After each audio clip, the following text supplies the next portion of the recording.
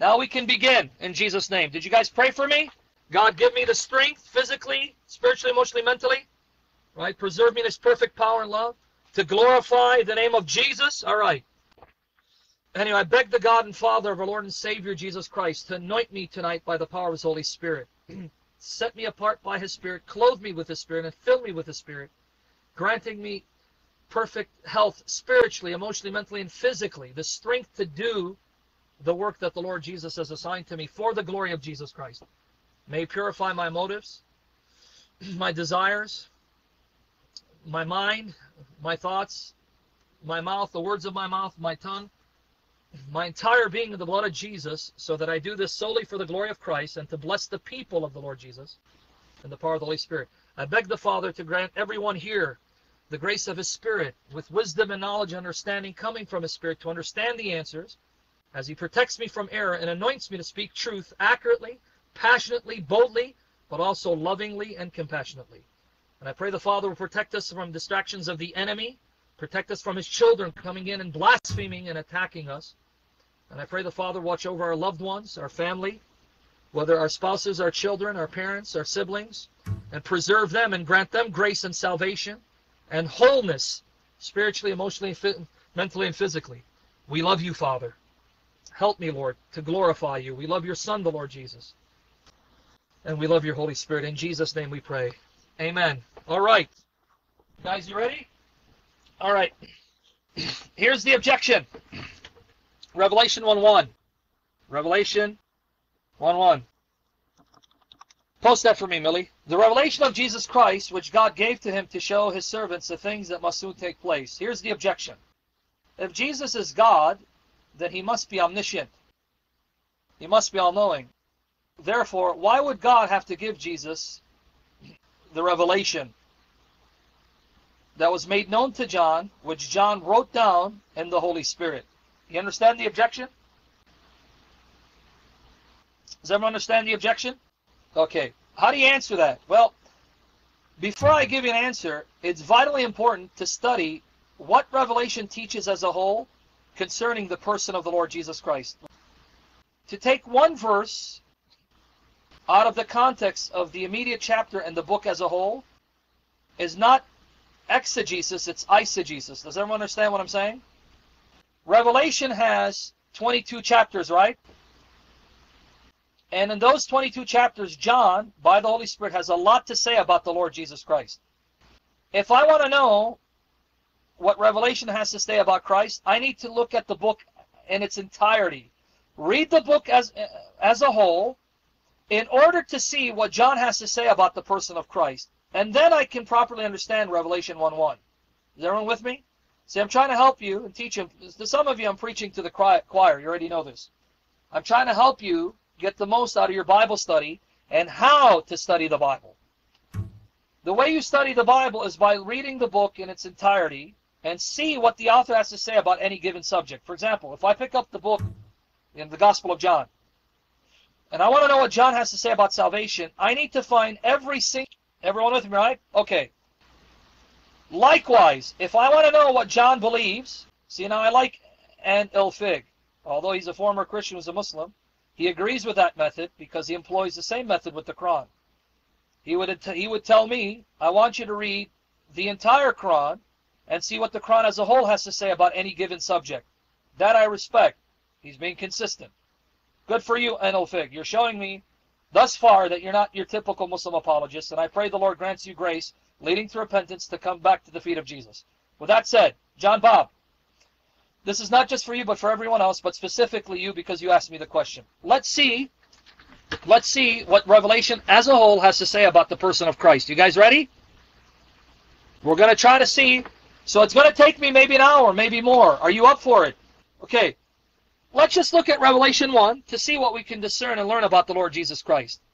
Now I can actually start from Revelation 1 verses 9 and go all the way to 18 to see the way that Jesus is described is exactly the same way God is described in the Old Testament. And I may do that. However, I may come back and show you that. But however, let's just go to Revelation 1, 17. And by the way, before we go to Revelation 1, 17, since we have a Muslim here, I'm going to ask him a question. And I'm not putting you on the spot to attack your religion. And Ilfig, I'm not attacking you. Would you agree with me that the title, first and the last, right? Al-akhir uh, wa al-awwal, al-akhir wa al-awwal, the first and the last, is a title belonging to God. The reason why I say that, Sai Christian, can you post Surah 57 verse 3 for me? Surah 57 verse 3 for me. So, and Ilfig, the Quran says that one of the names of Allah, a name belonging to Him, is the first and the last. Al-awwal means the first. Wa al-akhir. Al-akhir means the last. Arabic, al-awwal, the first. Al-akhir, the last. In chapter 57, verse 3 of the Quran, we are told Allah's the first and the last. So, uh, Sai Christian, if you can post that for me, I appreciate it. Because I'm going to ask an, an Ilfig a question, and it's not to attack you, I just want you to see if you recognize this point. American women, if you want an accurate translation of the Quran, meaning understand what the Arabic says, then you don't use Muslim translations. Use translations done by non-Muslims, like A.J. Arberry. Okay, Sai Christian, thank you. And thank you, I Truth Man. Now, is Enel Fig here? Enel Fig, are you there? Okay, hold on. Okay, Enel Fig, do you see what the Quran says? He's the first and the last. Do you agree the first and last is the title of God that belongs to God alone? Do you agree? You agree with that? Okay, good. He agrees. Now, Millie, do me a favor. Post Isaiah 44, verse 6. Isaiah 44, verse 6. Who's the first and the last? Okay, Ilfig. The Old Testament, the Hebrew Bible, agrees with the Quran. First and the last is the title of God. Read this with me in Ilfig. Isaiah 44, 6. Thus says Yahweh the Lord, the King of Israel and his Redeemer, the Lord of hosts. I am the first and I am the last. Besides me there is no God. So the Quran agrees with the Old Testament. God, Yahweh, the God of Abraham, Isaac, and Jacob, He's the first and the last, and there's no one else. Isaiah 48, 12. Isaiah 48, 12. Guys, when I ask this question of Enelfig, do not answer, please. The rest of you don't answer the question. Because I'm going to direct this next question to him again, and that'll be it. I don't want him to think I'm picking on him, but I just want him to see this point for himself. Isaiah 48, verse 12. Listen to me, O Jacob and Israel, whom I called. I am he, I am the first, and I am the last. There is no doubt that first and last is a title of God. Old Testament agrees, the Quran agrees. Now, Revelation 117, Millie. Post Revelation 117. Here's my question for Enel Fig. It's very hard to pronounce your name, dude. Enel Fig? Anyway, I may just call you Fig, because it's, it's doing a number on my tongue. Elias. All right. Okay, Elias, read this for me. Elias, read this passage. When I saw him, I fell at his feet as though dead, but he laid his right hand, hand on me, saying, Fear not, I am the first and the last. Elias, you agree the one who's the first and last is God, right? So this is God speaking in 17, right? Fear not, I am the first and last. You agree, right? This is God speaking, because the Quran says first and last is the title of God. Did you catch it, guys? Okay. You agree this is God speaking? Revelation 117, again, Millie. Because he just finally said yes. Post it one more time. Okay. When I saw him, I fell at his feet as though dead, but he laid his right hand on me, saying, Fear not, I am the first and last. Now, you don't have to believe this book is inspired. You don't even have to believe the author had a vision of God. The point is, as far as the book is concerned, who is the author seeing? You don't have to believe it's true. Maybe he made it up. That's not the point. I'm not saying commit to the book. The author is seeing Jesus. So you just admit to everyone here, Jesus claiming the first last. I thought you told me first last is God. So who's the author seeing? Read the verse again, Ilfig. Fear not, I am the first and the last. That's Jesus or is that God? The Quran says first and last is Allah. Old Testament says that's Jehovah. So who is the author claiming to see here? First and the last is the title of God. So the author is claiming to see who, Ilyas? Once he answers this, we'll move on. Okay, clear, right? Can any creature apply this title to himself, uh, Elias? Can a creature apply this divine title to himself if he's God-fearing? Now, if he's a blasphemer, yeah, okay, God will destroy him. But can a righteous servant of God, a prophet of God, claim to be the first and the last? No, okay, did you guys hear Elias? He honestly admit, first and last is a title of God. No God-fearing creature, no prophet would ever use this title for himself. Does everyone see Elias admitting this? People, Did you just see it just admitted in text? Everyone saw that? Millie, now post Revelation 1, 17 to 18 back to back. Revelation 1, 17 to 18 back to back. Elias. Let's read it together, Elias. When I saw him, I fell at his feet as though dead, but he laid his right hand on me, saying, Fear not, I am the first and the last, the living one. I died, and behold, I'm alive forevermore. Here God claims to have died and come back to life. In other words, the one claiming to be the first and last in Revelation is Jesus Christ. And even Elias admitted the title first and last is a title of God. No righteous prophet would ever use it for himself. Right, folks? So Elias indirectly conceded, acknowledged, admitted that Jesus in the New Testament claims to be God. You guys see that? Indirectly conceded, admitted, acknowledged that Jesus Christ claimed to be God. Wow. And yet the Muslims will tell me Jesus never claimed to be God. Now that I've gotten that out of the way, Elias, may the Lord Jesus convict you by what you just read and drive you back to his feet because, like I said, you don't know Jesus. Had you known Jesus, you would have never left him for Muhammad.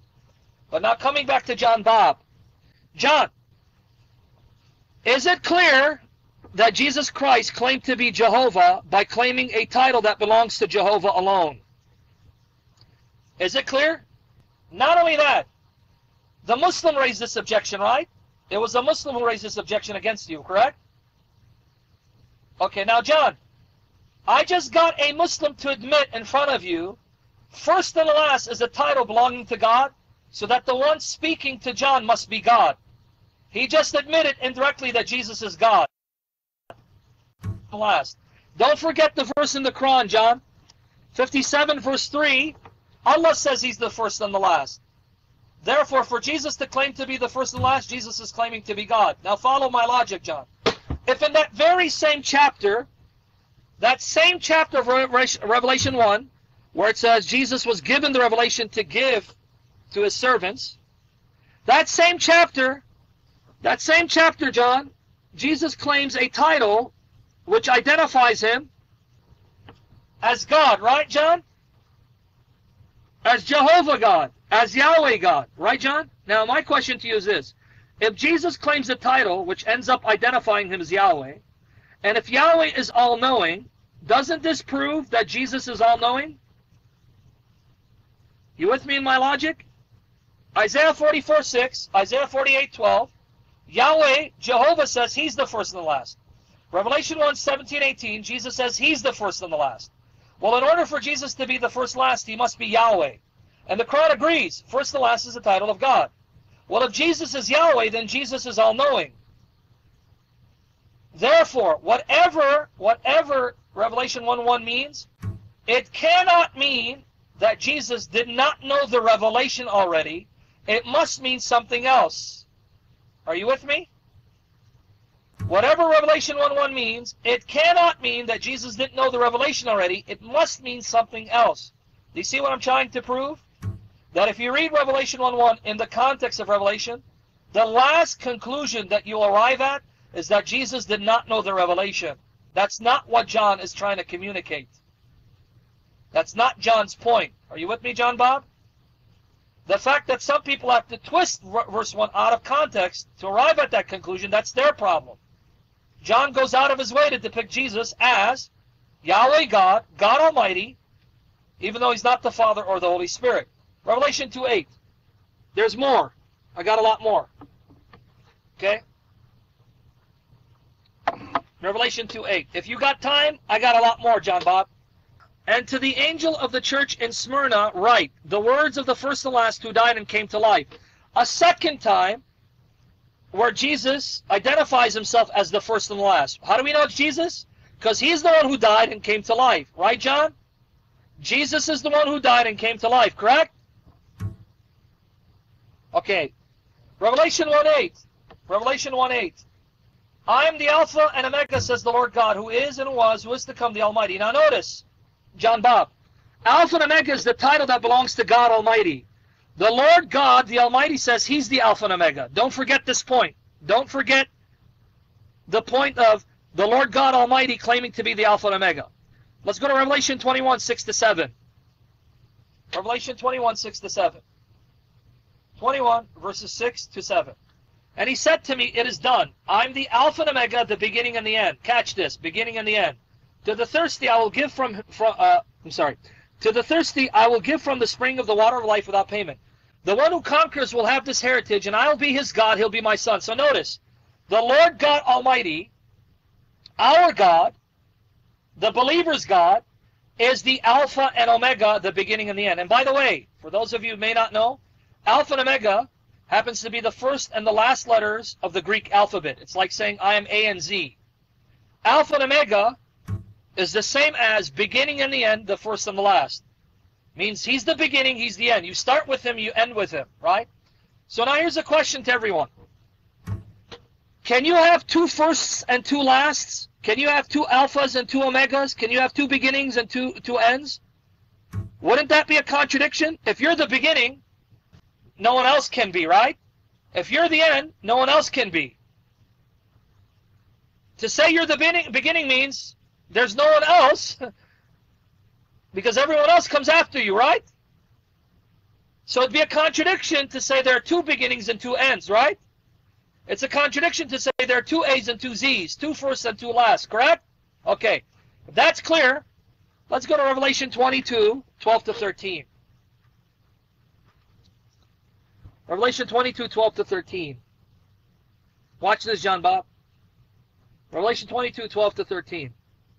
Behold, now, Bob, John Bob, pay attention to the following words. I am coming soon. Pay attention to that one bringing my recompense with me to repay each one for what he has done. Notice, the one speaking says he's coming soon, and he's going to reward, repay everyone for what he has done. Now this one who's speaking, who says he's coming soon, notice what he says about himself in verse 13. I'm the Alpha and the Omega, the first and the last, the beginning and the end. Wow. He quotes all the titles. This one who's coming soon says, I'm Alpha and Omega, I'm ANZ, I'm the first and last, I'm the beginning and the end. Now, in order to know who's speaking, jump to verse 20. Behold, I'm coming soon. Same chapter, verse 20. Let's see who's speaking. Verse 20. He who testifies to these things says, Surely I am coming soon. Amen. Come, Lord Jesus. Wow. John Bob, who's speaking in verses 12 to 13? Who is the one in verses 12 to 13 says, I'm coming soon, and I'm the Alpha and Omega, the first, last, the beginning, and the end? Clear as day, right? So wait, John, I'm really confused here.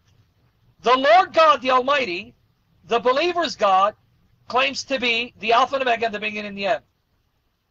And yet here Jesus says, I'm Alpha and Omega, the beginning and the end, and the first and the last. Remember what we said. You can't have two first, you can't have two last. You can't have two beginnings, you can't have two ends. You can't have two alphas, you can't have two omegas. So how can Jesus be the Alpha and Omega, the first and last, the beginning and the end, if he's not the Lord God, the Almighty? Can he be? Can he be John Bob?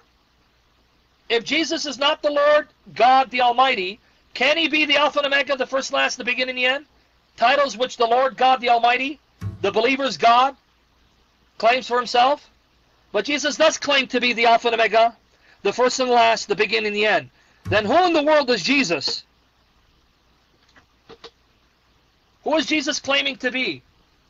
Okay, well, John, if he's claiming to be God, and one of the essential attributes of God is that God is omniscient, how in the world is someone going to quote Revelation 1.1 to prove that Jesus isn't omniscient if the entire book of Revelation goes out of its way to prove that Jesus is God Almighty? Do you see the problem with quoting Revelation 1.1 out of context, John? So whatever Revelation 1.1 means, it does not mean that Jesus didn't know the revelation, right? Whatever it means, it can't mean that, correct? If revelation goes out of its way to portray Jesus as God Almighty, as Yahweh, Yahweh in the flesh, then as Yahweh God Almighty, he must know everything. And therefore must know the revelation, right? I could stop there and I proved my case that Revelation 1.1, whatever it means, it does not refute the fact that Jesus is God. I could just stop there, right, John Bob? And I made my case, right? But I'm going to give you a lot more. Same chapter, Revelation 22. Are you ready, John, for more? Are you guys ready for some more goodies? to see who Jesus is according to Revelation? All right. Revelation 22, 6 to 7. John Bob, watch this. Revelation 22, 6 to 7. Revelation 22, 6 to 7, John Bob. Read this with me. And he said to me, These words are trustworthy and true. And the Lord, the God of the spirits of the prophets, has sent his angel. Don't forget that, John Bob. The Lord, the God of the spirits of the prophets, the God who's in control over the, the prophet's spirits, who controls them, right? Sent his angel to show his servants what's, what must soon take place. And behold, I'm coming soon. Blessed is the one who keeps the words of the prophecy of this book. So notice what we are being told here. The Lord, the God of the spirits of the prophets, the God who's in control over the prophets' spirits, sent his angel to show his servants this revelation, and he's coming soon. The Lord, the God of the spirits of the prophets is. Now let's look at Revelation 22, 16 and verse 20. Revelation 22, 16 and verse 20. Same chapter. Let's see what, what we find. Revelation 22, 16 and verse 20. I, Jesus, have sent my angel. Did you catch it?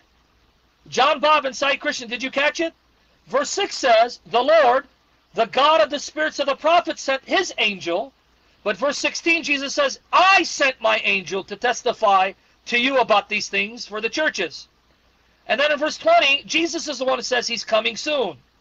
So now I'm really confused. Did the Lord, the God of the spirits of the prophets, send his angel? And is he coming soon? Or did Jesus send his angel and Jesus is coming soon? Help me understand what's going on here. Who sent who and who's coming soon? The Lord, the God of the spirits of the prophets, or Jesus? What's the answer? Not only they're the same essence, John Bob, that's not it. I think you're missing the point. The Lord, the God of the spirits of the prophets, is none other than Jesus Christ the context shows that John is referring to Jesus as the Lord, the God of the spirits of the prophets. So I think you didn't catch it. Millie did, Pats did, truth be told did. Right? American Woman did. John, did you catch it now? If in one verse uh, it says, the Lord, the God of the spirits of the prophets, sends his angel and he's coming soon, but another verse says, Jesus sent his angel, he's coming soon, then the conclusion is, Jesus is the Lord, the God of the spirits of the prophets. Susie got it. Good. Glory to God. You see why I ask questions because I want to make sure I'm not confusing you guys. I'm not going too fast. So don't feel like I'm belittling you. If that's what you feel like, I apologize. That's not my intention. I have to ask questions, repeat myself, because I know I can speak too fast and I'm dealing with complex issues. So bear with me. So now, John Bob, if Jesus is the Lord, the God of the spirits of the prophets, how in the world could a Muslim use the book of Revelation to prove that Jesus isn't God? Can, can you help me understand that logic? Can you help me understand that logic, John? You got it. Isn't it clear as day that Jesus Christ is God Almighty? And if he's God Almighty, then he must be all-knowing, right? And if he's all-knowing, then he must know the revelation, right? Okay, it's going to get a little better, folks. By the way, what are you learning tonight? You're learning it's vitally important that we know our Bible inside and out. So if someone misquotes a book of the Bible, because we know what that, that book teaches, we'll be able to refute that person. We need to know this book. Spend more time prayerfully studying the book, asking God to give you the power of the Holy Spirit to understand it and live it. Not just to know it, folks, but we got to live it zealously for the glory of Jesus because he's worthy, right? Amen? We want to know it so we can live better lives, more holy lives, more pleasing lives to Jesus because he's worthy and able to refute the attacks against our faith. Knowledge puffs up, but love builds up. So pray for me that I can live these truths for the glory of Jesus, because he's worthy. And we love and we worship and we adore the Lord Jesus. He's our God, he's our life. And he's real and he lives. Praise his holy name. We love you, Lord. Preserve us in your love forever. I got more. This is all warm-up, folks. I got a lot of chapters. I got at least another hour of solid material. Let's look at Revelation 22:12 again. Revelation 22:12. Watch this now. Watch what I'm going to do with this one, uh, John Bob. We know this is Jesus. I've established already. If you continue reading chapter Jesus, he's the one who's coming soon. Behold, I'm coming soon, bringing my recompense with me. Remember that language, John Bob. Bringing my recompense. Recompense means my payment, my repayment to pay you, right? My reward, my payment to pay you for what you've done, right? I'm going to recompense you. I'm going to repay you for what you've done. I'm going to reward you for what you've done. It can have a positive and negative connotation. Anyway, bringing my recompense with me to repay each one for what he has done. Don't forget the language. This is Jesus speaking, John Bob. Now let's go to Revelation 2, 18 to 23. It's a long one, but it ties in with verse 12 of 22. We're going to go to Revelation chapter 2, verses 18 to 23. Revelation 2, 18 to 23. Okay. And to the angel of the church in Thyatira write the words of the Son of God. Did you catch that, John Bob? It's Jesus speaking. Don't let anyone tell you otherwise, because you're going to see what Jesus says in 23. To the angel of the church in Thyatira write the words of the Son of God, who has eyes like a flame of fire, and whose feet are like burnished bronze. I know your works. Who's speaking, John Bob? Who's speaking? According to Revelation 2.18. Who's the one saying, I know your works? Your love and faith and servant and patient endurance, that your latter works exceed the first. The Son of God, who's Jesus. You're right. Excellent. Let's jump to 23. Jesus is speaking, the Son of God. Let's see what he says in 23. Watch this. Watch, watch what happens here, John Bob. We'll skip to 23. I will strike her children dead. Now notice what Jesus says. All the churches will know that I am he. I, Jesus, am he who searches mind and heart and will give to each of you according to your works. Notice Jesus here in Revelation 2.23 and 22.12 says that he is the one who searches the hearts and minds of everyone and is able to repay everyone for what he or she has thought and done. Do you see that, John Bob? Do you see that? Here's my question to you, John Bob. What kind of attributes must Christ know in order to be able to repay everyone and repay everyone perfectly for what, for what he or she has thought and done? What attributes must he have? Okay, ex excellent. He must be all-knowing. What else? To be able to repay them, everyone, for whatever they thought and whatever they have done. Millie got it. He has to be omnipresent, omniscient, omnipotent. He has to know every single thought, word, and deed that every person has done, and he must have inexhaustible riches in order to repay everyone according to what they have done, right? And thought and spoken. Now, John, let me ask you this question. If Jesus claims to be the one who knows the hearts and minds of everyone and will repay everyone perfectly, he will repay you perfectly for what you've done. Which is a, an assertion to being omniscient, all-knowing, omnipresent, present everywhere, overseeing everything, because everything is present to him, which is why he can see everything, and he has access to the hearts of everyone, searches minds and hearts, and he's all powerful, powerful enough to repay everyone for what they've done. How can someone then use Revelation 1.1 to prove that Jesus doesn't know everything because he doesn't know the revelation that God gave him? How can someone do that, uh, John Bob? Can you tell me? Isn't it clear from these passages Jesus is claiming to be omniscient deity, claiming to be God because only God is all powerful, all knowing, present everywhere, present everywhere. Okay, but John Bob, it's going to get a little better. It's going to get a little better. You ready?